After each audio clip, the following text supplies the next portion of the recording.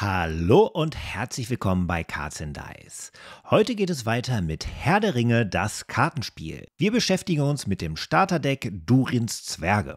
Die Starterdecks sind ja im Rahmen der Neuauflage erschienen und sind vor allen Dingen für all diejenigen zu empfehlen, die gerade neu in das LCG einsteigen. In diesem Video werde ich euch kurz die Strategie des Decks erläutern und dann ein Let's Play machen. Wir steigen in die Tiefen von Nibin. Schauen wir uns zunächst mal das Starterdeck genauer an. Das Deck verfolgt im Grunde zwei Strategien. Bei der ersten handelt es sich um die sogenannte Swarm-Strategie. Wir versuchen möglichst viele Zwerge auszuspielen, um das Quest zu überrennen. Und hier spielt unser Held Dein Eisenfuß eine zentrale Rolle. Er gibt nämlich, solange er spielbereit ist, allen Zwergencharakteren einen Bonus. Und zwar plus 1 Angriff und plus 1 Willenskraft.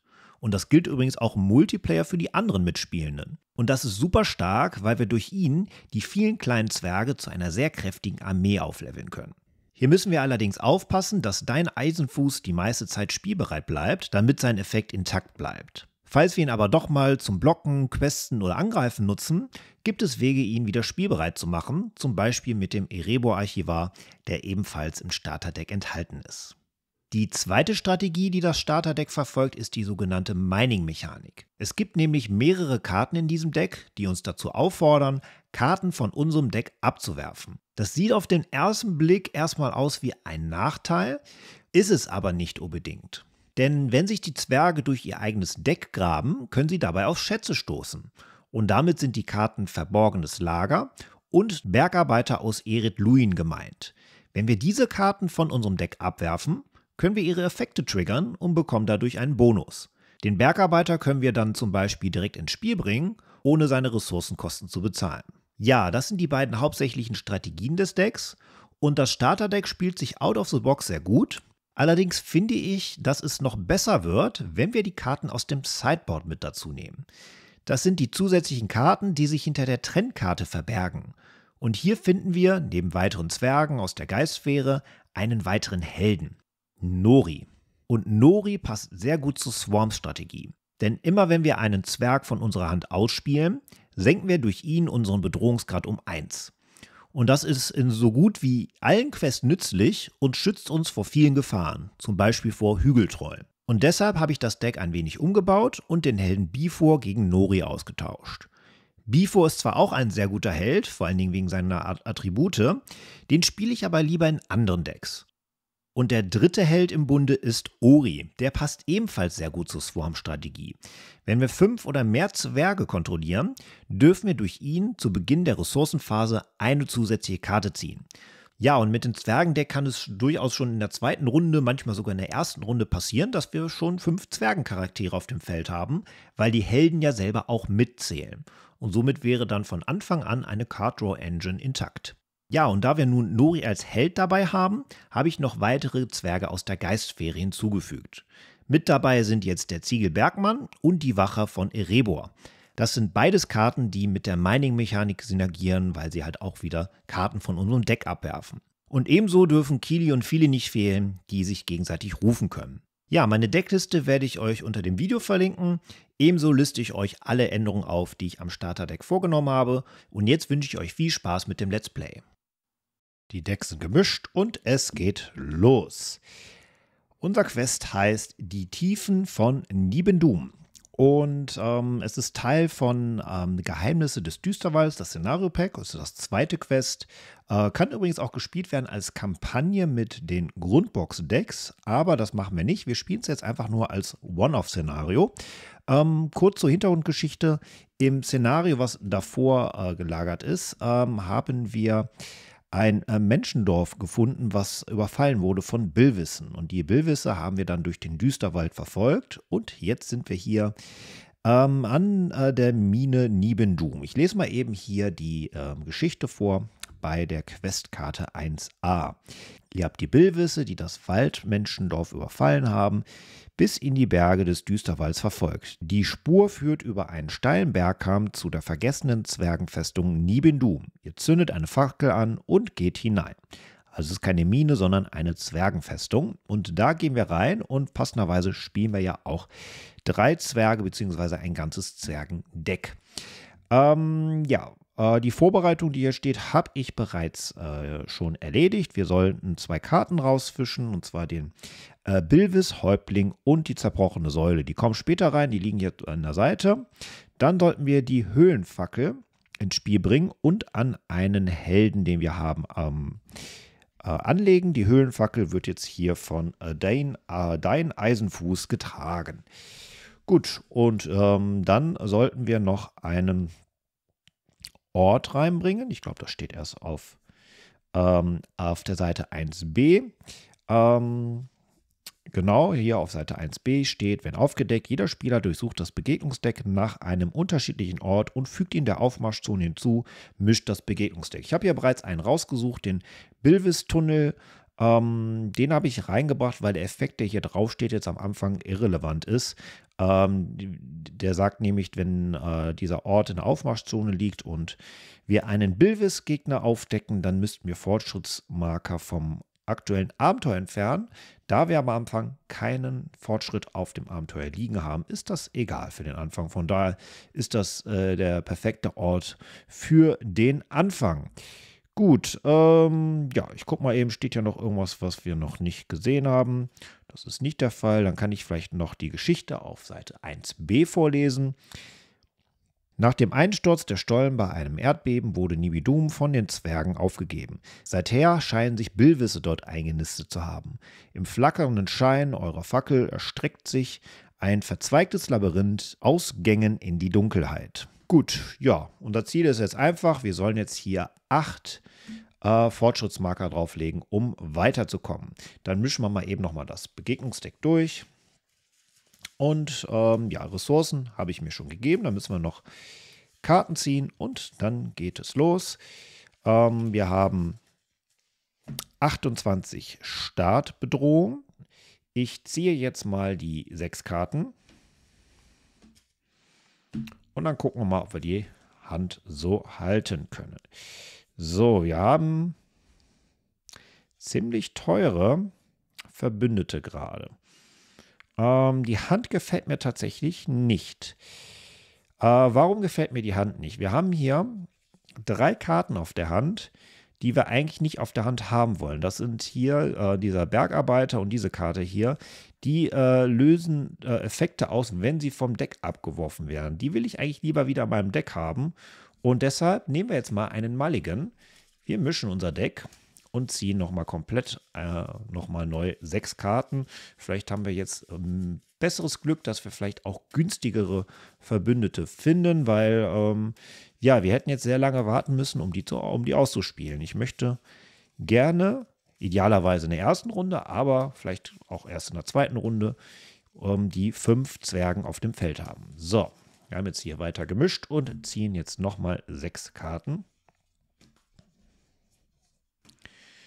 und hoffen, dass wir jetzt was Besseres haben. Und das sieht jetzt schon, äh, ja, bedingt besser aus. Wir haben immer noch oder schon wieder Karten auf der Hand, die ich eigentlich im Deck haben will, die wir eigentlich von unserem Deck abwerfen wollen. Ist jetzt nicht schlimm. Mit der Karte können wir auch einen anderen Effekt auslösen. Aber wir haben jetzt auch einen günstigen Zwerg. Und ähm, ja, kann man mitarbeiten, ist nicht ideal, aber vielleicht ziehen wir ja jetzt mit der ersten Handkarte oder mit dem ersten Card Draw, den wir jetzt haben, was Besseres. Und ich ziehe jetzt mal die erste Karte. Es ist der Ziegel Bergmann. Okay. Das heißt, wir werden in der zweiten Runde auf jeden Fall zwei Zwerge äh, dazu bekommen. Und mit dem Rest gucken wir mal was wir sonst noch machen können. Hiermit könnten wir Karten ziehen.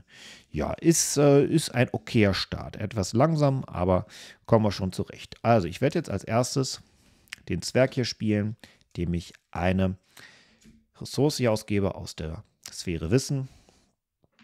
Und der kommt jetzt ins Spiel. Jetzt triggert Nori. Nachdem du einen Zwergcharakter von der Hand gespielt hast, senke deine Bedrohung um 1. Also gehen wir auf 27. Dann ist er im Spiel. Äh, was kann der? Ähm, der kann nicht angreifen und verteidigen. Der kann aber sehr wohl questen und hat einen netten Effekt, wenn wir hier eine äh, Ressource aus der Sphäre Wissen ähm, ausgeben und ihn erschöpfen hier, dürfen wir einen Zwergcharakter wählen und ihn spielbereit machen. Kann ganz praktisch sein. Dann äh, verteile ich mal eben ein paar Ready und Exhaust Token. Das sind die hier, die sind äh, haben hier auf der Rückseite rot exhausted und vorne grün ready und alle Charaktere kriegen jetzt so einen Token. Ähm, die nutze ich, um äh, mehr Platz auf dem Feld zu haben. Ist ein bisschen besser als die Karten immer so nach rechts zu äh, drehen. Ähm, und so halte ich das Board etwas aufgeräumter. So, mal gucken, ob wir noch irgendwas anstellen. Ähm, die weiteren Karten will ich jetzt gerade noch nicht benutzen. Und jetzt würde ich sagen, gehen wir doch einfach mal ähm, ans Abenteuer und ich werde ähm, jetzt questen. Und zwar möchte ich mit diesen drei Zwergen hier das Abenteuer beginnen. Ähm, und unser Effekt von Dane Eisenfuß, der gilt jetzt immer noch, weil er ja spielbereit ist. Und das heißt, alle kriegen auch nochmal plus 1 Willenskraft. Das heißt, ich queste jetzt für 3, 3, 2, also insgesamt 8.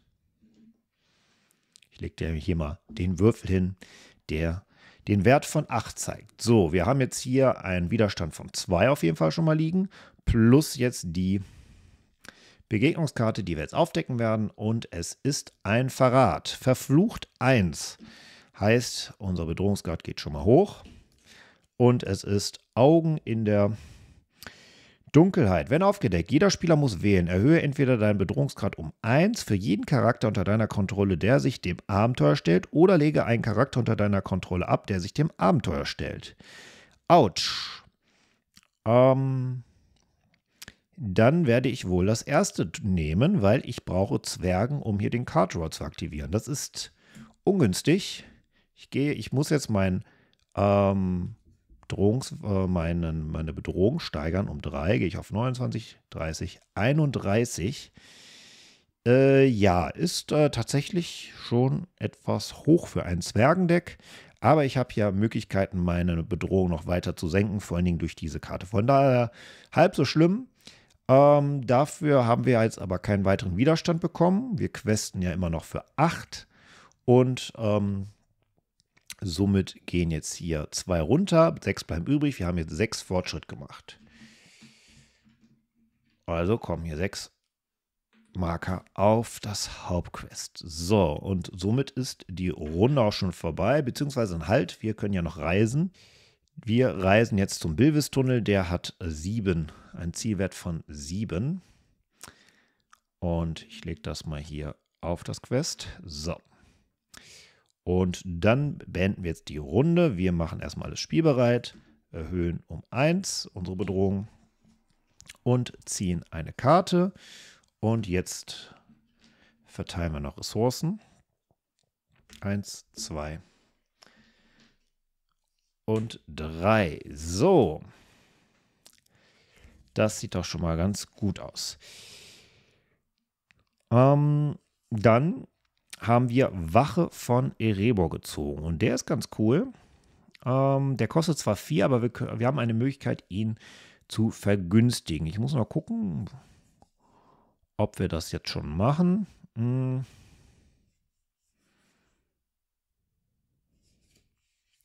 Ja, ich würde den tatsächlich jetzt einmal spielen wollen, glaube ich. Hm, ich gucke mal eben, ob es sonst noch irgendwas gibt.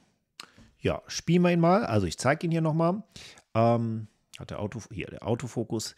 Ähm, Wache von Erebor, Schildwache. Sobald du Wache von Erebor von deiner Hand spielst, lege die obersten zwei Karten deines Decks ab, um ihre Kosten um zwei so zu senken. Damit ist gemeint, dass er jetzt zwei mich nur zwei Ressourcen kostet.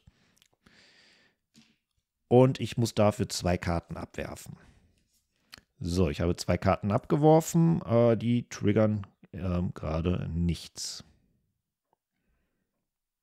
Schade, die hätte ich gerne auch gehabt, aber egal, die kriege ich auf andere Art und Weise bestimmt wieder. Also er ist jetzt reingekommen. Er ist ready. Nori triggert. Ich gehe auf 31. So, ähm, mehr kann ich, glaube ich, gerade nicht anstellen.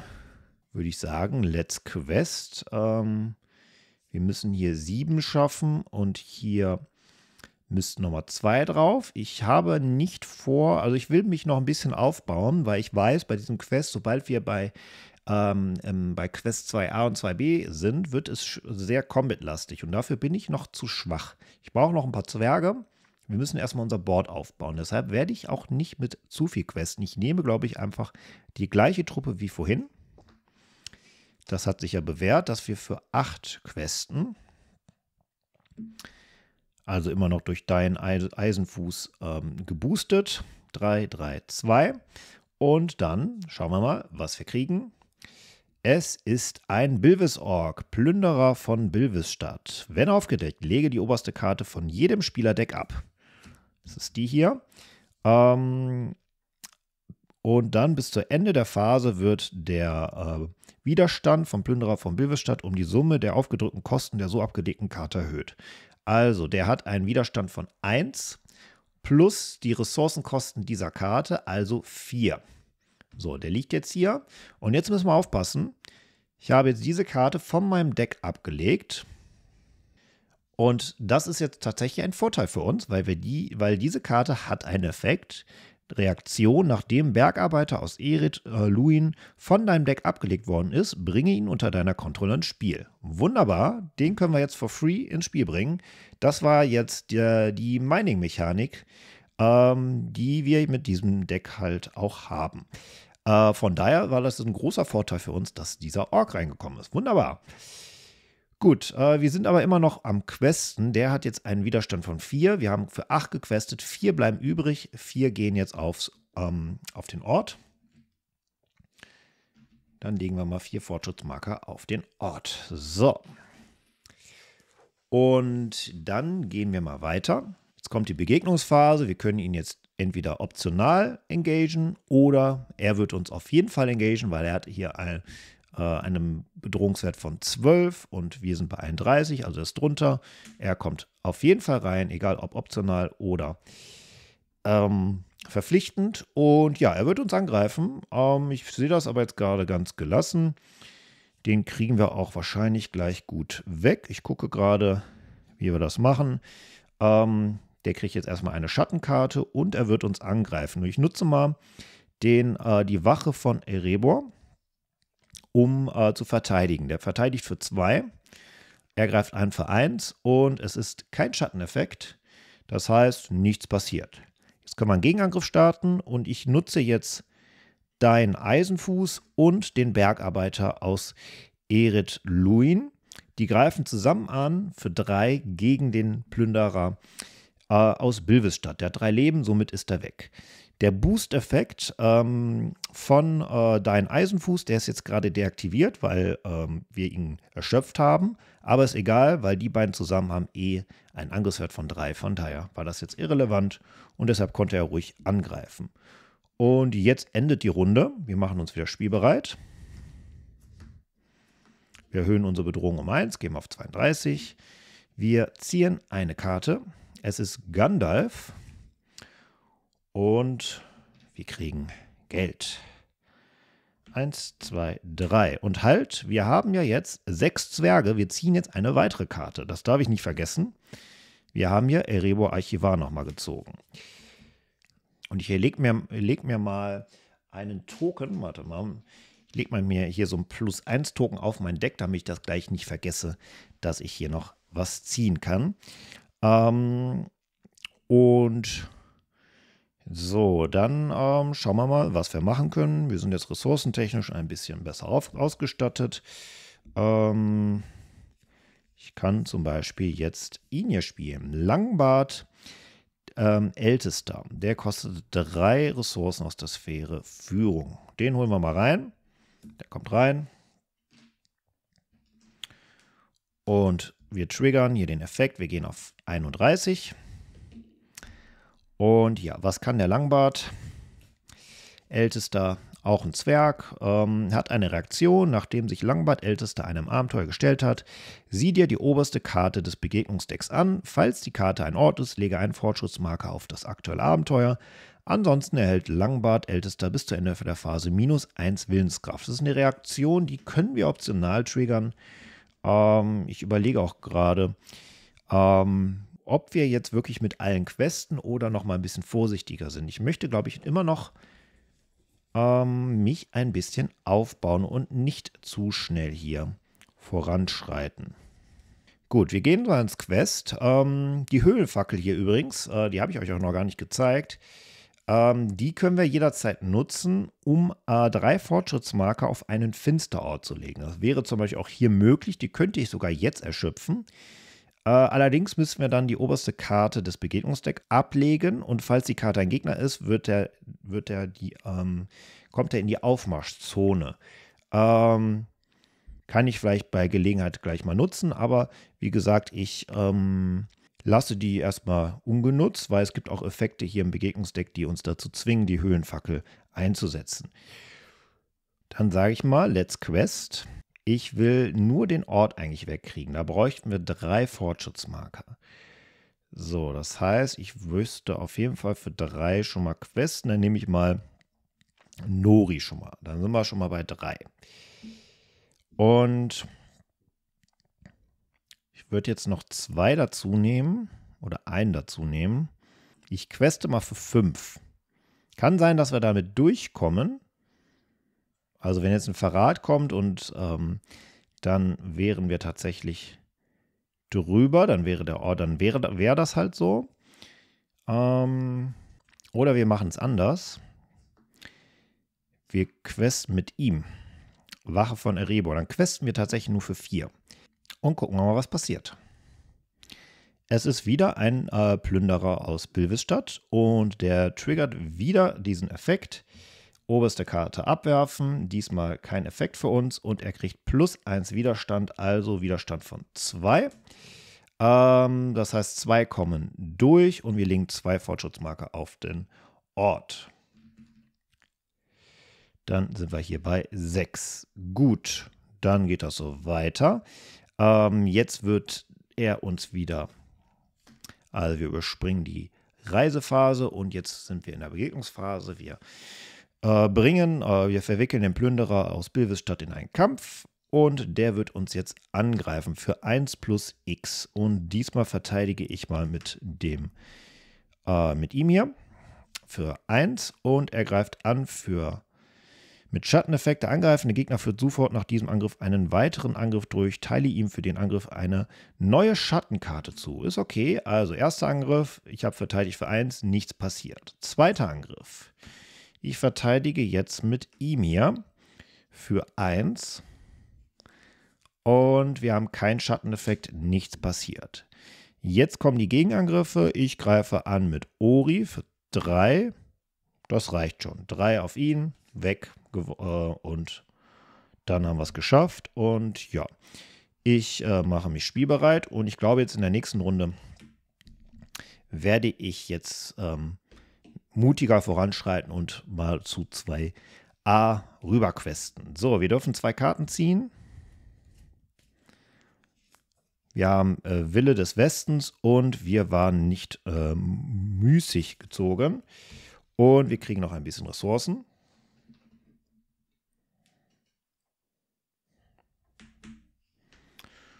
Und ja, jetzt äh, schauen wir mal, ob wir irgendwas Dolles hier noch spielen können. Ähm, Wille des Westens behalte ich mal für später. Das ist eine wichtige Karte, weil damit können wir wieder unseren Ablagestapel zum äh, wieder zurückmischen in unser Deck. Und falls wir ähm, mal hier komplett durchgehen sollten durch diese ganzen äh, Mining-Effekte, ist das sehr praktisch. Und ich werde jetzt mal den Ziegel Bergmann spielen für zwei. Und dann reduzieren wir unseren Bedrohung um 1. Und der Bergmann hat auch einen Effekt, den wir nutzen können. Ähm, damit können wir auch Karten von unserem Deck abwerfen und kriegen dann vielleicht eine Belohnung. Nutze, gehe ich gleich nochmal auf ein, wenn ich es nutze. So, jetzt ähm, gucke ich mal eben. Ich würde nochmal ihn hier spielen. Den haben wir ja schon, aber der kann öfters im Spiel sein. Kostet uns eins. Und ich denke, wir haben jetzt genug Zwerge, um hier ähm, jetzt voranzuschreiten. Da brauchen wir jetzt keine Angst mehr haben. Und ähm, Guck mal, was passiert. Also, ich weiß, dass auf jeden Fall gleich Gegner reinkommen werden, die uns auch angreifen. So, ich gehe jetzt erstmal questen. Ähm, ich queste mal für 6. Für 9. Ich queste mal für 9. Und dann gucken wir mal, was passiert. Also 3, 3, 3. So, seinen Effekt, den kann ich jetzt triggern. Ähm, muss ich aber gar nicht. Also die, die Reaktion des Langbart-Ältesten ist eigentlich optional. Von daher questen wir es einfach für 9. Karte wird aufgedeckt und es ist ein Verrat.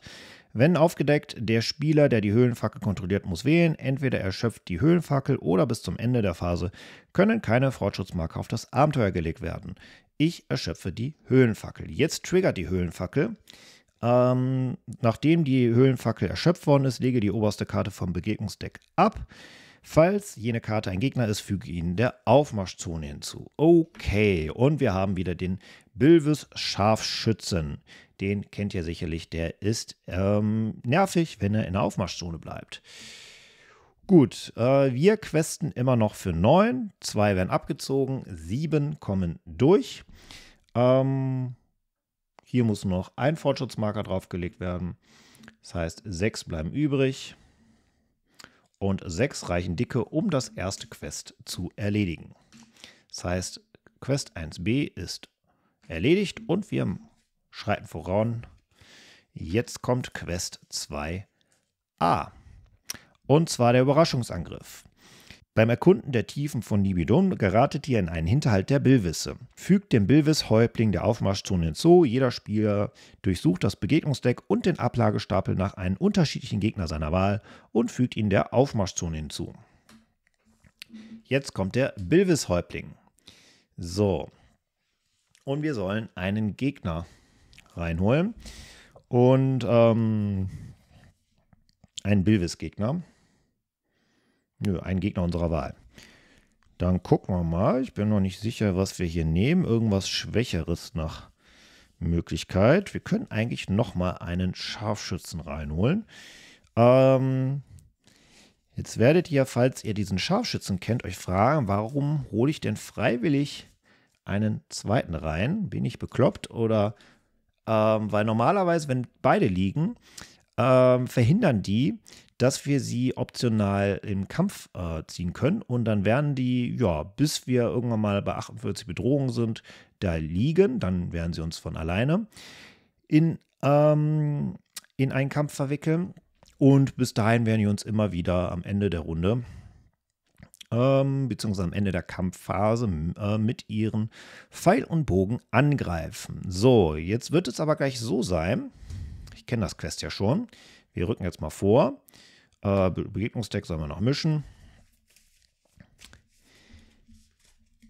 Ähm, jetzt rücken wir vor zu 2b. Und 2b sagt, Überraschungsangriff, die Billwisse werden von einem äh, stämmigen Häuptling angeführt, der sie erbarmungslos gegen euch aufpeitscht. Seine Kämpfer fallen mit blinder Wut über euch her und drohen euch zu überwältigen. Wenn der Begegnungs, äh, während der Begegnungsphase wird die Kampfbereitschaft jedes Gegners so behandelt, als ob sie null wäre. So, die Kampfbereitschaft ist jetzt null, das heißt, alle drei Gegner werden uns gleich in den Kampf verwickeln. Somit sind diese beiden Gegner gleich nicht ähm, gelockt. Also normaler in anderen Szenarien würden die, wie gesagt, da die ganze Zeit liegen bleiben, weil sie gegenseitig verhindern, dass wir sie äh, in den Kampf verwickeln können. Das ist wirklich in manchen Szenarien, ja, sehr unangenehm und eigentlich ist das Spiel dann häufig dann auch schon verloren, wenn genau das passiert. Aber jetzt ist es nicht so schlimm. Und jetzt werden uns gleich alle in einen Kampf verwickeln, weil die Kampfbereitschaft jetzt hier bei null ist. So, ähm, dann sagt das Quest auch noch, dieser Abschnitt erhält vier Abenteuerpunkte für jeden Gegner im Spiel. Also aktuell müssten wir gleich für zwölf hier questen ähm, beziehungsweise 12 Fortschrittsmarker drauflegen, um hier weiterzukommen. Ähm, wenn wir die Gegner erledigen, reduziert sich das entsprechend. Gut, also ich habe jetzt hier schon die Begegnungsphase durchgeführt. Die haben uns jetzt alle in einen Kampf verwickelt. Ähm, gucken wir mal eben, haben die noch irgendwas? Also hier steht nochmal, während der Begegnungsphase können die Spieler den Bilvis-Scharfschützen nicht freiwillig in einen Kampf verwickeln, falls es andere Gegner in der Aufmarschzone gibt. So, und falls sich Bilvis Scharfschütze am Ende der Kampfphase in der Aufmarschstunde befindet, fügt er jedem Spieler, ähm, fügt jeder Spieler einem Charakter, den er kontrolliert, einen Schaden zu. Das ist jetzt egal, weil der jetzt mit uns im Kampf ist. Dann hat der Bilvis-Häuptling folgendes. Der hat einmal überall X. X ist die Abschnittsnummer des Abenteuers, also gerade 2. Und er kann keinen Schaden nehmen und kann keine Verstärkung haben. Also wir könnten ihn jetzt auch nicht in eine Falle locken. Ähm, erzwungen, nachdem Bilvis Häuptling angegriffen hat, entferne entweder X Fortschrittsmarke vom Abenteuer oder legt ihn zurück in die Aufmarschzone. So, die werden uns jetzt alle angreifen. Ich verteile mal Schattenkarten in Höhe des in Höhe der Kampfbereitschaft. So, das sind die Schattenkarten. Und die mit der höchsten Kampfbereitschaft greifen als erstes an, also die beiden Scharfschützen. Die haben nur einen Angriff von zwei. Das sollte ich äh, eigentlich gut blocken können. Ich äh, blocke mal mit der Wache von Erebor. Ich fange mal, mal rechts an. Der greift an für zwei plus erhöhe deinen Bedrohungsgrad um 1 für jeden Schadenspunkt, der durch diesen Angriff zugefügt wurde. 0. Nichts passiert. Gut, so, weiter geht's. Jetzt greift uns der nächste an. Ich kann jetzt ein Aktionsfenster mal nutzen. Äh, ich gucke mal eben, habe ich hier noch weitere Verteidiger? Hm, ich nutze mal die Aktion von Erebor Archivar. Ich erschöpfe ihn und gebe eine Wissensressource aus, um einen Zwerg spielbereit zu machen. Und das wird die Wache von Erebor. Der wird jetzt wieder verteidigen gegen den nächsten Bilvis-Scharfschützen. Schatteneffekt, falls dieser Angriff unverteidigt ist, lege einen Verbündeten ab. Gut, passiert nichts. Beide Angriffe abgehandelt. Wunderbar. Weiter geht's. Äh, jetzt greift er noch an. Und ich glaube, ich mache das gleiche nochmal. Ich erschöpfe den weiteren Archivar. Ich gebe wieder eine Ressource aus, mache ihn spielbereit, verteidige. Und er greift an für zwei plus der angreifende Gegner führt sofort einen weiteren Angriff durch. Autsch. Das ist übel. Ähm, ja, für den zweiten Angriff blocke ich hiermit. Und dann gucken wir mal, was passiert. Zweiter Angriff, kein Schatteneffekt. Er verteidigt für 1, kriegt eine Wunde. Gut, jetzt sind gar nicht mehr so viele Zwerge übrig geblieben, die einen Gegenangriff starten können. Eigentlich kann nur Ziegel Bergmann einen Angriff starten. Und zwar für 1 greift er an, plus dein Eisenfuß, der ergibt ihn ja noch plus 1. Geht auf den Bilvis-Scharfschützen, der ist weg. Und dann bleibt jetzt noch äh, alleine dein Eisenfuß übrig. Der greift jetzt für 2 an und macht den weg. Und wir haben hier einen Effekt vergessen. Äh, der Bilvis Häuptling, der sagt, nachdem der angegriffen hat, müssen wir entweder X Fortschrittsmarker vom, einem, vom Abenteuer entfernen oder ihn zurück in die Aufmarschzone legen. Er geht in die Aufmarschzone zurück, weil äh, wir null Fortschritt auf dem Abenteuer aktuell haben. Gut, äh, ja, alles halb so wild. Wir können uns spielbereit machen. Ähm, ich habe dieses Level 2 schon in anderen Spielen deutlich äh, kompliziert, äh, komplizierter gehabt. Ähm, dass ich hier mehr Gegner hatte und diese Situation etwas eskaliert ist. Aber ja, haben wir Glück gehabt.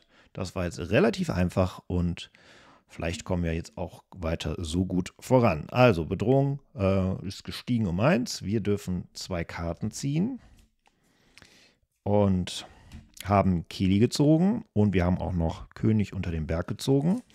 Dann geben wir uns mal Ressourcen.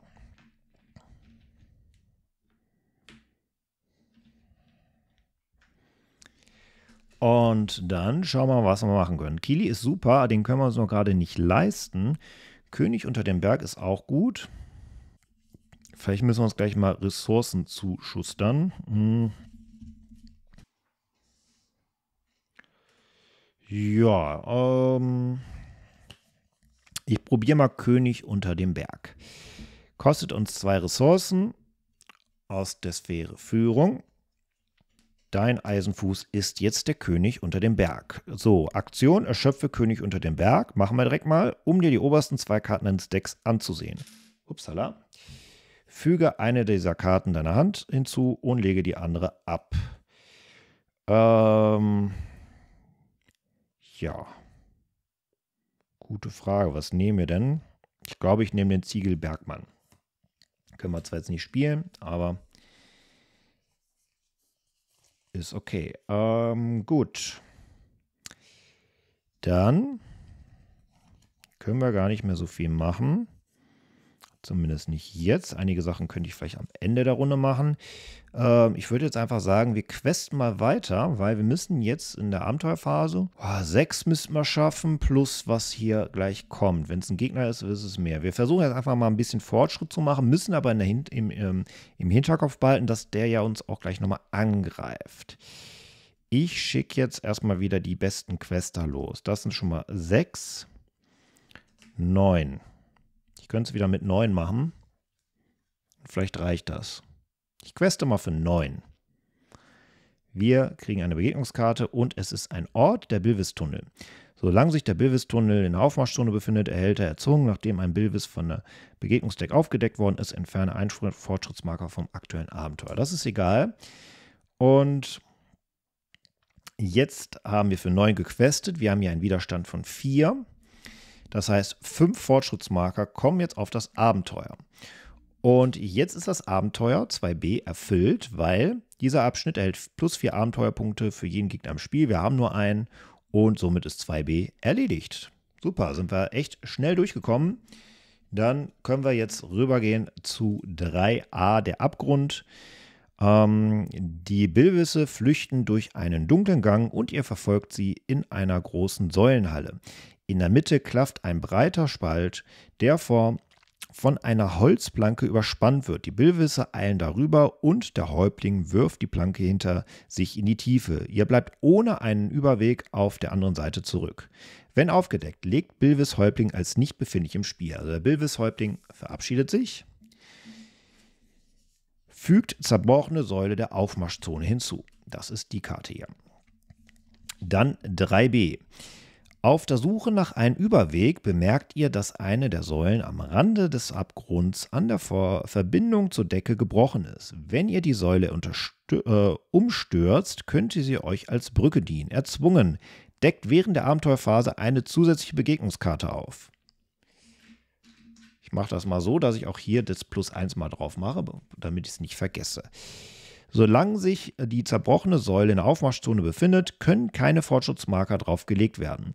Nachdem die zerbrochene Säule das Spiel als erkundeter Ort verlassen hat, rückt zu Abschnitt 4a vor. Also im Grunde müssen wir jetzt die zerbrochene Säule zum aktiven Ort machen, um dann äh, weiterzukommen.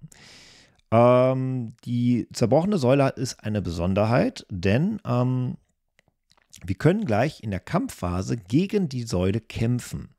Während der Kampfphase darf der Startspieler einen Angriff gegen die zerbrochene Säule erklären, als wäre sie ein Gegner, der mit ihr, ihm in einem Kampf verwickelt ist. Verwendet während des Angriffs den äh, Bedrohungswert oder den Widerstand der zerbrochenen Säule als ihre Verteidigung. Also, wir müssen insgesamt vier Schaden hier drauf kriegen. Hier ist aber zwei Verteidigungen drauf. Wir müssen quasi gleich für sechs einmal hier angreifen. Das sollten wir hinkriegen. Und dann können wir, wenn da vier Schaden drauf sind, können wir dann in der nächsten Runde dorthin reisen. Ähm, jetzt ist die Frage, ob wir zum Bilvis-Tunnel reisen wollen. Ja, warum nicht? Wir reisen mal dahin, dann bleiben wir zwar noch etwas länger an diesem Quest, oder wir reisen nicht hin, dann könnten wir schon im nächsten Runde dorthin reisen. Ne, wir reisen mal dahin. Könnte jetzt auch ein Fehler gewesen sein. Mal sehen. Jetzt versuchen wir jetzt ähm, Reisephase übersprungen, also haben wir jetzt erledigt. Dann reisen wir, äh, jetzt äh, beginnt die Kampfphase und jetzt müssen wir sechs Schaden machen. Ähm, sollte kein Problem sein, die haben ja alle hier noch plus eins. Also der greift an für zwei, der greift an für zwei, sind wir schon mal bei vier. Dann greift der noch an für 1 und der auch nochmal für 1. Die zusammen sind schon 6. Also 6 Schaden gegen die, äh, oder mit 6 gegen die Säule entspricht 4 Schaden und dann haben wir das schon mal erledigt. Gut. Dann gucke ich mal, ob ich am Ende der Runde noch was mache. Ich nutze noch ein Aktionsfenster, einmal um den Ziegel Bergmann zu nutzen Was kann der? Erschöpfe den Ziegel Bergmann und sage eine Zahl. Ich sage mal 2, um die zwei obersten Karten deines Decks abzulegen. So, falls bei mindestens einer der Karten die Kosten deiner gesagten Zahl äh, oder dass die äh, Kosten deiner gesagten Zahl entsprechen, wähle einen Helden unter deiner Kontrolle, füge seinem Ressourcenvorrat eine Ressource hinzu für jede abgelegte Karte, deren Kosten deiner gesagten Zahl entsprechen. Ich habe zwei gesagt, ne? Weiß gerade auswendig gar nicht, was die, äh, was die höchste Wahrscheinlichkeit ist, aber wir gucken mal. Ich habe zwei gesagt und oh, wir haben zwei mal zwei. Beide Karten werden abgelegt und jetzt darf ich zwei Ressourcen hinzufügen. Ähm, darf ich die auch aufteilen? Guck mal eben.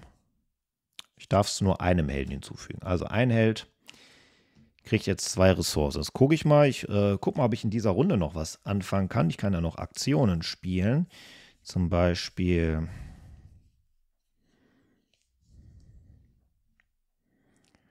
Könnte ich die Karte. Ja, so viel kann ich doch nicht machen. Ich könnte ein bisschen Card Draw machen. Oder ich plane schon mal meinen nächsten Zug. Ich glaube, dass ich auf jeden Fall Kili spielen möchte. Also es ist eigentlich sinnvoll, wenn ich hier mir Nori, äh, wenn Nori die Ressourcen bekommt, damit wir gleich Kili spielen können. Kili ist nämlich sehr gut. Okay. Hm. Ja, ansonsten Gucke ich mal, gibt es noch irgendwas, was ich machen will? Nö. Gehen wir einfach mal in den nächsten Zug und ich gehe jetzt auf 32. Wir machen uns spielbereit. Wir müssen jetzt gleich gut questen, damit wir auch den Ort hier wegkriegen. Ich darf zwei Karten ziehen. Wir haben zweimal die Karte hier gezogen, mache alle Zwergencharaktere spielbereit. Das ist natürlich super, kann ich mir nur nicht leisten. Wir kriegen aber noch Ressourcen.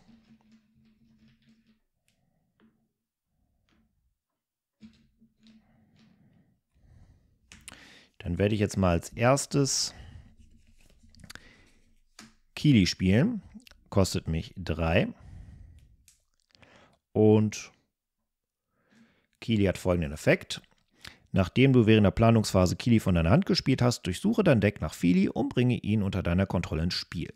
Vorher mache ich noch Noris Effekt. Ich äh, gehe meine Bedrohung reduzieren. Und dann suchen wir mal den guten Fili.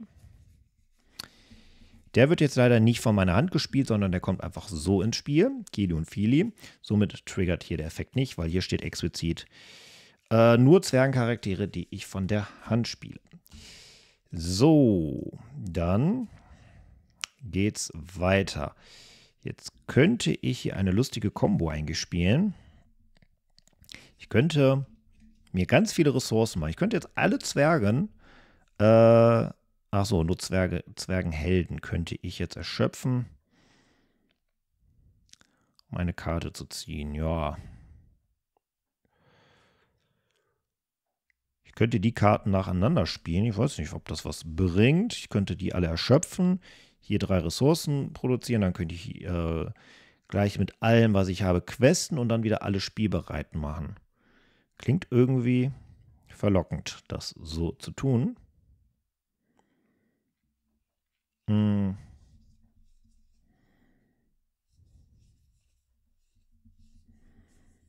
Ich guck mal, was ich noch so machen kann. Ja, warum eigentlich nicht? Ich probiere es mal. Ähm, ich spiele mal die Karte. Schöpfe x Zwergenhelden, um dem Ressourcenvorrat eines Helden x Ressourcen hinzuzufügen und ziehe eine Karte. Also ich erschöpfe alle drei Helden und möchte hier drei Ressourcen haben. So, dann darf ich noch eine Karte ziehen. Und wir haben Schürfer aus Erit Niemreis. So, das Problem ist, er ist jetzt, ähm, wie, er, er ist jetzt gerade nicht spielbereit. Ich könnte ihn jetzt aber hiermit spielbereit machen, wenn ich wollte. Ähm, oder halt hiermit. Dann gehe ich jetzt mal ins Quest. Und jetzt gilt gerade der Effekt nicht von den Eisenfuß. Ähm, ich habe aber die Möglichkeit, den wieder zu reaktivieren. So, ich quest jetzt erstmal für 1, 2, 3, 4, 5, 6, 0. Also 1, 2, 3, 4, 5, 6, 7, 8. Ja, damit würde ich jetzt questen. Ähm, ich sehe gerade, bevor ich das Quest mache, also ich habe es mir schon mal erschöpft, aber in der Planungsphase hätte ich vielleicht noch König unter dem Berg nutzen sollen. Das mache ich, das hole ich mal eben nach. König unter dem Berg ähm, erschöpfe ich, um die obersten zwei Karten meines Decks anzusehen. Und eine dürfen wir unserer Hand hinzufügen. Das ist Navis Gürtel, das ist gut. Oder, das du oder Durins Erbe. Hm. Beides sehr gut. Ich behalte aber Navis Gürtel. Also das habe ich vorher gemacht, spiele ich aber jetzt noch nicht aus. Ähm, dann bin ich ja ins Quest gegangen. Ich habe hier schon alles erschöpft. Also 1, 2, 3, 4, 5, 6, 7, 8 und der hier für 0. Also 8 ist aktuell mein Questwert. So, dann decken wir zwei Karten auf. In Reihenfolge Nummer 1 Einstürzende Stufen. Solange sich die einstürzenden Stufen in der Aufmarschzone befinden, können keine Fortschrittsmarker draufgelegt werden. Erzwungen, sobald die einstürzenden Stufen das Spiel als erkundeter Ort verlassen haben, legt die oberste Karte des Begegnungsdecks ab. Falls die abgelegte Karte ein Ort ist, bringe ihn als aktiven Ort ins Spiel. Okay, nicht schlimm. Und wir haben einen Troll. Kann keine Verstärkung haben. Drei Widerstand, sechs Angriff, sechs Leben. Für jeden Uh, ja, der entfernt auch noch Fortschrittsmarker vom Abenteuer. So, dann haben wir jetzt ordentlich Widerstand hier in der Aufmarschzone.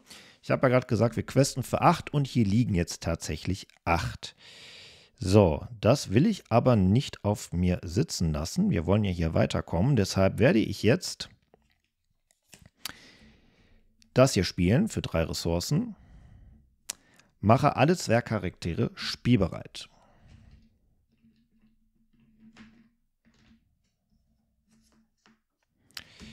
So, jetzt muss ich aufpassen. Also die unten sind schon mal spielbereit. Die waren ja nicht am Abenteuer beteiligt. Am Abenteuer beteiligt waren aber alle hier oben, alle meine Verbündeten. Und das waren ja jetzt 1, 2, 3, 4, 5, 6, 7, nee, 8, 8 Zwerge waren am Abenteuer beteiligt und ich hatte ja gerade einen Questwert von 8 ermittelt. So. Und jetzt, da äh, Dane Eisenfuß wieder spielbereit ist, kommen nochmal 8 drauf, also ist mein Questwert 16. Und die sind alle spielbereit. Das heißt, ich kann sie auch gleich nutzen, um möglicherweise den Troll dort ähm, anzugreifen. So, alles wieder spielbereit. Wir äh, questen für 16. 8 wird hier reduziert durch die Aufmarschzone. Das heißt, 8 bleiben übrig. Wir können jetzt hier diesen Ort entfernen. Der hat nämlich 7. Und der ist weg. Und ein Fortschrittsmarker käme jetzt sogar noch aufs Abenteuer, aber das ist egal, weil wir das Abenteuer nicht über Fortschrittsmarker entfernen. Okay, gar nicht mal so schlecht. Ähm, dann gehen wir in die Reisephase und jetzt reisen wir direkt mal hier zur Säule. Da sind jetzt vier ähm, Schadensmarker drauf, die entfernen wir. Das ist ja der Reiseeffekt. Und dann wird ähm, da die zerbrochene Säule wird jetzt der aktive Ort. Sie ist quasi jetzt äh, wir haben sie jetzt quasi äh, umgeschmissen und können gleich drüber klettern. Wunderbar. Dann gehen wir in die Begegnungsphase. Wir holen vielleicht den Troll rein. Ich gucke mal eben, was für einen Effekt hat er genau. Für jeden vom großen Höhlentroll zugefügten überschüssigen Schadenspunkt, Schadenspunkte, die über die verbleibenden Trefferpunkte des angegriffenen Charakters hinausgehen, entferne einen Fortschrittsmarker vom aktuellen Abenteuer. Das ist ziemlich egal. Das heißt, wir können gleich sogenanntes Jump-Blocking machen und äh, werden jetzt wahrscheinlich einfach einen unserer Zwerge opfern. Äh, wer soll sich denn hier opfern? Ähm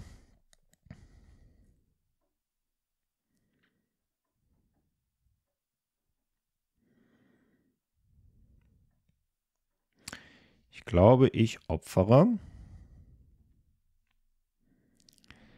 einen Bergarbeiter. So. Dann greift jetzt der Troll an für 6 plus. Füge dem verteidigen Charakter einen Schaden zu. Oh, der stirbt dadurch. Und jetzt passiert was Unangenehmes. Damit habe ich jetzt nicht gerechnet. Jetzt habe ich wirklich Äh, nicht aufgepasst. Der hat ja schon Schaden. Ich, hab, ich hätte einen anderen nehmen sollen. Äh, jetzt müssen wir gucken, wie wir hier rauskommen. Houston, wir haben ein Problem. Hm.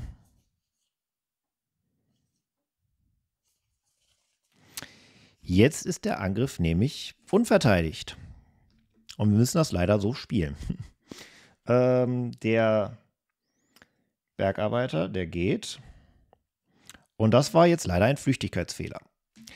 Gut, es bleibt spannend. Ähm, er hat den jetzt besiegt. Der Effekt triggert, der würde jetzt hier eine Fortschrittsmarke entfernen, das ist egal. Ähm, beziehungsweise nein, stimmt gar nicht. Der hat jetzt niemanden besiegt, der besiegt jetzt nämlich einen erst. Er greift für 6 an und 6 ist jetzt unverteidigt. Das heißt, ich muss 6 Schaden auf einen Helden nehmen. Einer meiner Helden wird jetzt sterben. Auf ihn auf gar keinen Fall, wahrscheinlich auf ihn. Auf Nori muss ich wohl verzichten.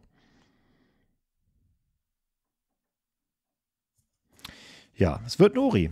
Er greift Nori an. Also er besiegt ihn. Und er ist weg. Autsch. Ähm, ja, das passiert, wenn man zu schnell spielt. Ich hätte irgendeinen anderen Zwerg dazwischen werfen können, dann wäre das nicht passiert. Dann, äh, also, beziehungsweise ich hätte einen dazwischen werfen sollen, der Fili oder Kili hätte ich dazwischen werfen können. Die hätten einen Schadenspunkt, äh, äh, diesen Schatteneffekt überlebt. Und dann wären sie gestorben. Aber gut, so ist das halt jetzt. Äh, das Spiel ist manchmal, wenn man es nicht erwartet, hammerhart. Aber gut. Machen wir weiter. Versuchen wir uns jetzt mal zu rächen. Einer unserer Freunde ist besiegt worden. Ähm, was machen wir denn jetzt? Großer Gegenangriff. Wir müssen, wie viel müssen wir schaffen? Zehn. Er hat vier Verteidigungen, sechs Lebenspunkte. Äh, dein Eisenfuß ist noch online. Wir greifen jetzt an. Die greifen, Fili und Kili rächen sich. Die greifen zusammen an für 2 plus 2, also 4. Die Wache von Erebor schießt sich an, sind 6. Der Langbart-Ältester greift auch noch an, sind wir bei 8. Und Ori ist auch noch dabei, sind wir sogar bei 11. Reicht, um den Troll zu besiegen. Wir haben uns gerecht. Wonderful. So, dann nutze ich am Ende nochmal den Ziegel Bergmann und ich sage nochmal 2. Und wir haben einmal 2 und einmal 4. Das heißt, ich darf jetzt, äh, ich gehe auf den Eisenfuß, der kriegt jetzt eine Ressource. Ähm, und ich gucke mal eben, ob ich noch irgendwas machen kann, was jetzt noch sinnvoll ist am Ende der Runde. Äh, nö. Dann gehen wir in die nächste Runde. Wir erhöhen unsere Bedrohung um 1. Wir kriegen jetzt nur noch zwei Ressourcen dazu. 1, 2. Wir ziehen aber immer noch zwei Karten. Äh, und haben endlich mal diese Karte gezogen. Das ist eigentlich eine Schlüsselkarte in diesem Deck. Und wir haben nochmal Langbart Ältester. Die Karte ist super. Äh, wir können uns übrigens noch spielbereit machen. Ressourcen habe ich schon gegeben. Und äh, ja, wir werden jetzt gleich durchquesten, müssen eigentlich nur hier zwei drauf kriegen und dann kämen wir ins große Finale. Ähm ja, ich könnte nochmal so einen Langbart-Ältesten, ich könnte Navis Gürtel spielen. Ähm ich könnte auch ihn mal spielen.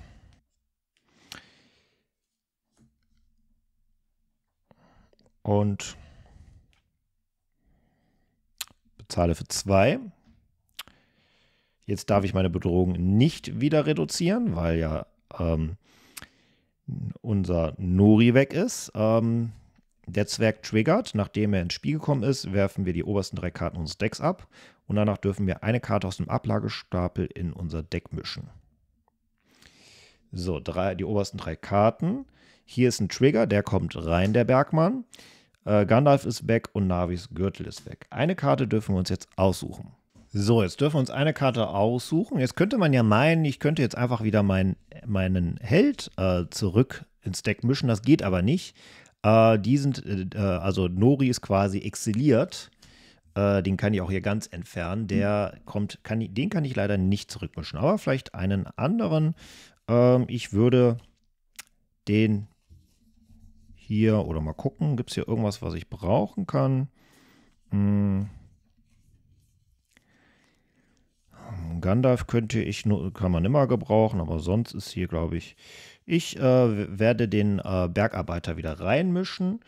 Äh, vielleicht äh, werfe ich ihn ja gleich wieder ab und dann triggert wieder Effekt, dass ich ihn umsonst reinkriege.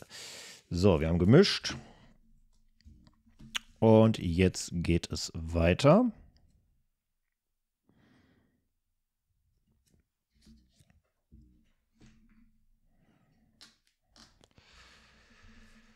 Was können wir noch Tolles anstellen? Ich könnte ähm, A Very Good Tale spielen, auf Deutsch eine ausgezeichnete Geschichte.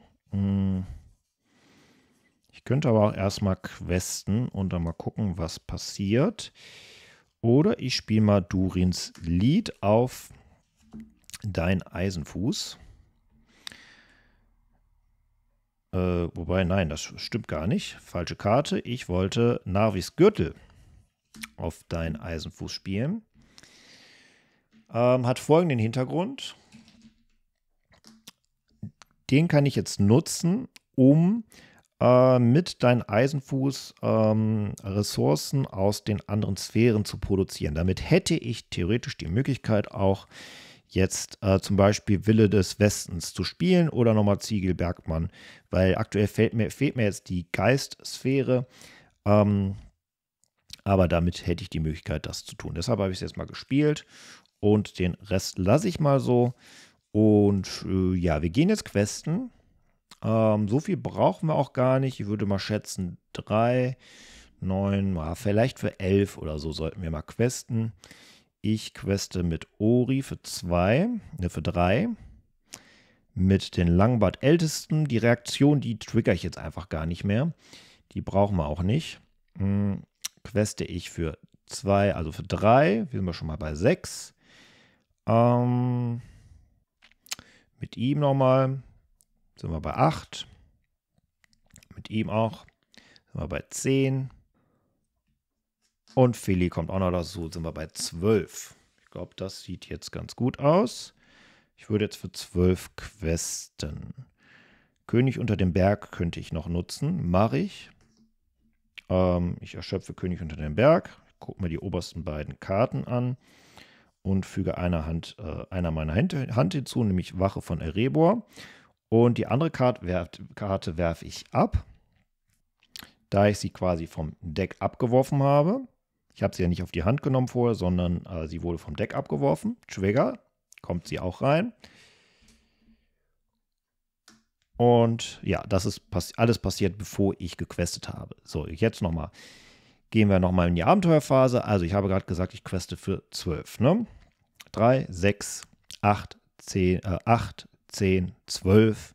Alle geboostet durch dein Eisenfuß. Gut, 12 ist jetzt unser Questwert. Da rollt der Würfel.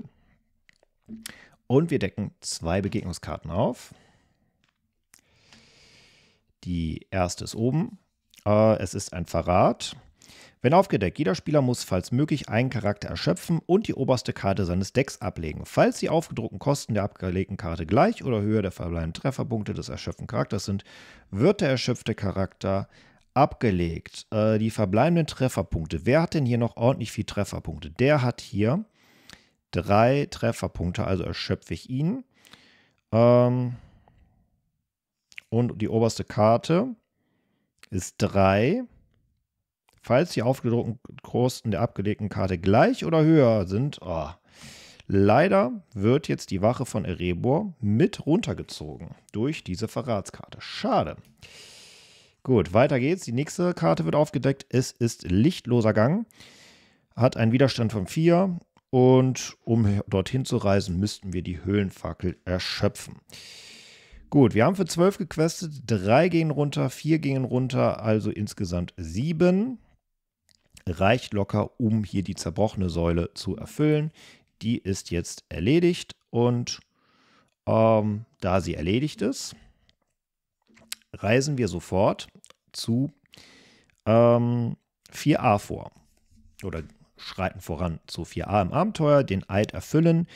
Jetzt ähm, beginnt das große Finale. Ihr habt den Abgrund überwunden und könnt nun die Verfolgung wieder aufnehmen. Vor dem Kerker, wo die Waldmenschen eingesperrt sind, scharen sich die Billwisse um ihren Häuptling. Ihr müsst den äh, stämmigen Anführer der Billwisse besiegen, wenn ihr euren Eid erfüllen wollt und äh, wenn ihr euren Eid erfüllen und die Gefangenen retten wollt. Also der Bilwis, die Billwisse haben nicht alle Menschen getötet, sondern die haben die Leute gefangen genommen. Die sind jetzt hier im Gefängnis. Und wir haben im ersten Quest haben wir ähm, einen Eid geschworen, dass wir die Menschen befreien. So, jetzt steht hier, wenn aufgedeckt, füge den Bilvis-Häuptling der Aufmarschzone hinzu. Der ist jetzt wieder am Start. Und 4b hat jetzt die Besonderheit, solange sich mindestens acht Fortschrittsmarker auf diesem Abschnitt befinden, verliert der Bilvis-Häuptling den Text, kann keinen Schaden nehmen. Also wir können gleich gegen ihn tatsächlich ähm, auch vorgehen. Und ähm, dieser Abschnitt kann nicht bewältigt werden, solange der Bilvis-Häuptling im Spiel ist. Sobald dieser Abschnitt bewältigt ist, retten die Helden den, die Gefangenen, erfüllen ihren Eid und die Spieler haben das Spiel gewonnen. Also, als erstes acht Fortschrittsmarker oder mehr drauflegen, dann Bilvis-Häuptling töten und dann Party. So, Abenteuerphase beendet. Jetzt können wir reisen. Ähm, wir reisen zu den einstürzenden Stufen. So, ähm, Begegnungsphase. Äh, der Bilvis-Häuptling, der kann ruhig hier noch etwas verweilen. Den will ich jetzt nicht optional engagen.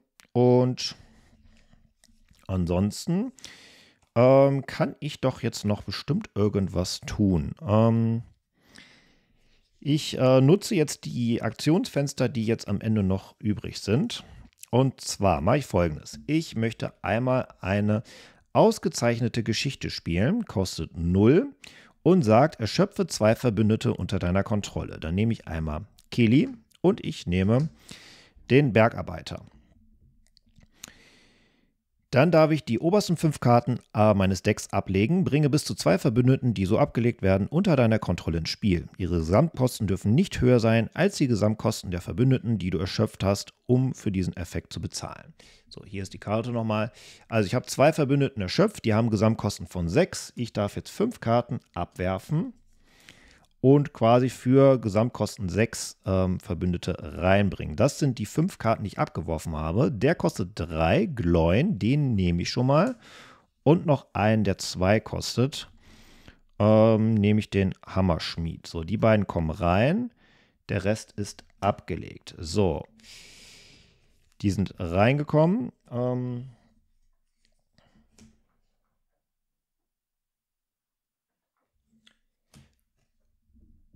So, die haben jetzt auch, oder der ähm, Hammerschmied hat auch einen Effekt, nachdem der Hammerschmied von Erebor gespielt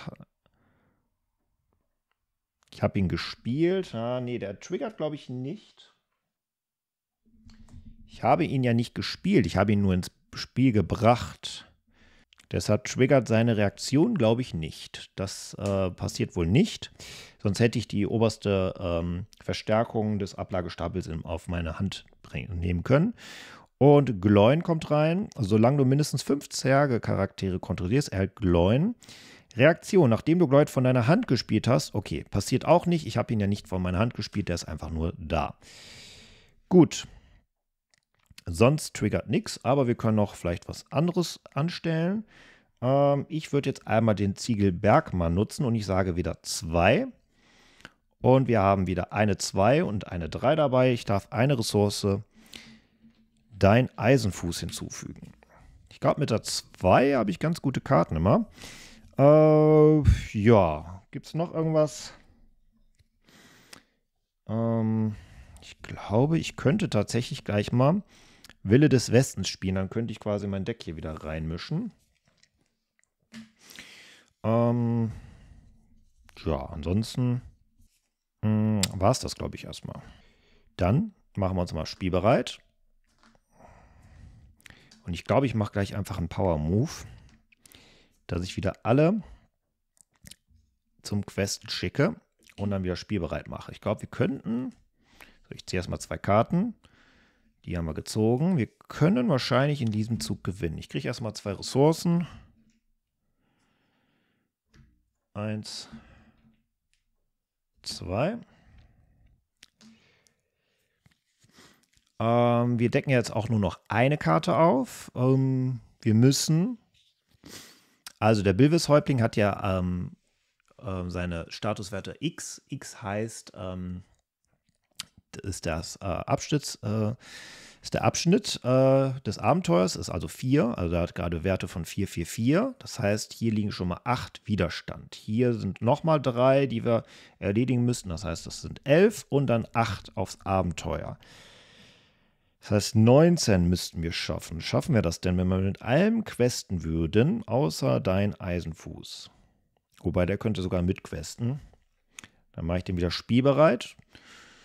Ich glaube, ich probiere es einfach mal. Also ich habe ja nämlich hier diese tolle Karte auf der Hand. Die könnte ich tatsächlich auch gleich spielen. Alle zwei Charaktere spielbereit machen. Wenn ich einfach alle ins Quest schicke, alle ähm, dann wieder den Trick mache, ihn spielbereit mache, dann haben alle wieder plus 1 und könnten danach den Bilvis-Häuptling sogar angreifen. Ähm, das kommt schon mal weg. Das gilt jetzt nicht mehr. Sollte eigentlich machbar sein. Ich gucke gerade, gibt es irgendwas, was dagegen spricht, was uns hier ärgern könnte? Komm, let's try it. Also, wir versuchen jetzt in dieser Runde zu gewinnen. Ich queste mit allem, was ich habe.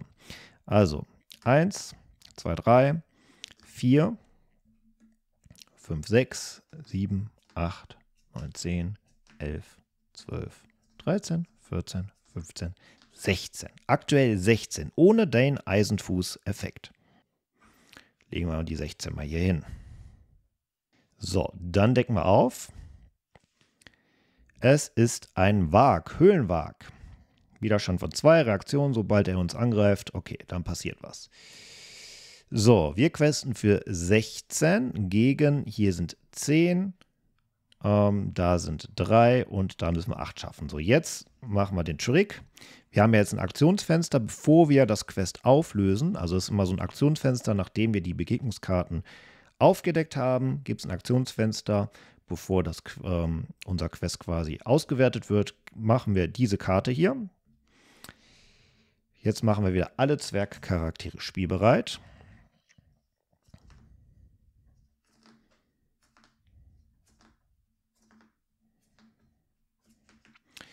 Und da dein Eisenfuß jetzt wieder spielbereit ist, haben jetzt alle plus 1 Quest und wir haben. Das heißt, 12 kommen drauf. Ich queste also jetzt für äh, 12, 28, wenn ich mich jetzt nicht verzählt habe. Also 16 plus 12, 28. Äh, was habe ich gesagt? 10 kommen hier runter, bleiben 18 übrig. 3 kommen hier runter, um diesen Ort zu erfüllen. Sind wir bei 15. Das heißt 15 Fortschrittsmarker aufs Abenteuer. Das heißt, wir haben hier äh, die 8 locker erfüllt. Und jetzt passiert folgendes: ähm, Sobald die, dieser Ort das Spiel verlassen hat, lege die oberste Karte des Begegnungsdecks ab. Ähm, falls ähm, die abgelegte Karte ein Ort ist, ist sie nicht, wird sie aktiviert. Also passiert nichts. Wir haben jetzt 15 Fortschrittsmarker erfüllt. Jetzt können wir immer noch reisen. Ist die Frage, will ich das? Hm. Nö, brauche ich nicht, weil ich werde jetzt die, ich werde jetzt hier Tabula Rasa machen. Ich mache mal ein bisschen Platz. Jetzt kommt die Begegnungsphase. Wir holen den Bilvis Häuptling freiwillig rein und wir holen äh, den, der Höhlenwag, der wird uns verpflichtend engagen und die bekommen jetzt jeweils eine Schattkarte. Und jetzt müssen wir mal, bevor wir jetzt hier äh, wieder irgendwelche, dummer, irgendwelche dummen Fehler machen, müssen wir jetzt mal kurz aufpassen. Der wird jetzt uns angreifen. Einer muss sich jetzt opfern. Am besten ein, äh, ein Zwerg, der auch zwei Lebenspunkte oder mehr hat. Gehen wir mal auf Nummer sicher. Wir nehmen hier den Hammerschmied, der hat drei Lebenspunkte und eine Verteidigung von 1.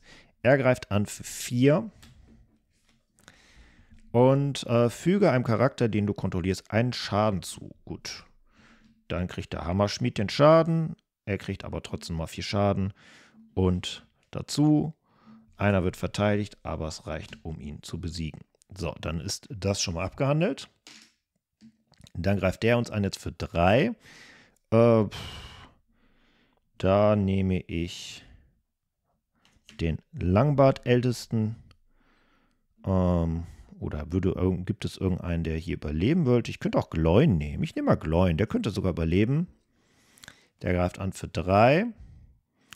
Äh, kein Schatteneffekt und Moment, Moment, Moment. Es gibt ja auch Reaktionen.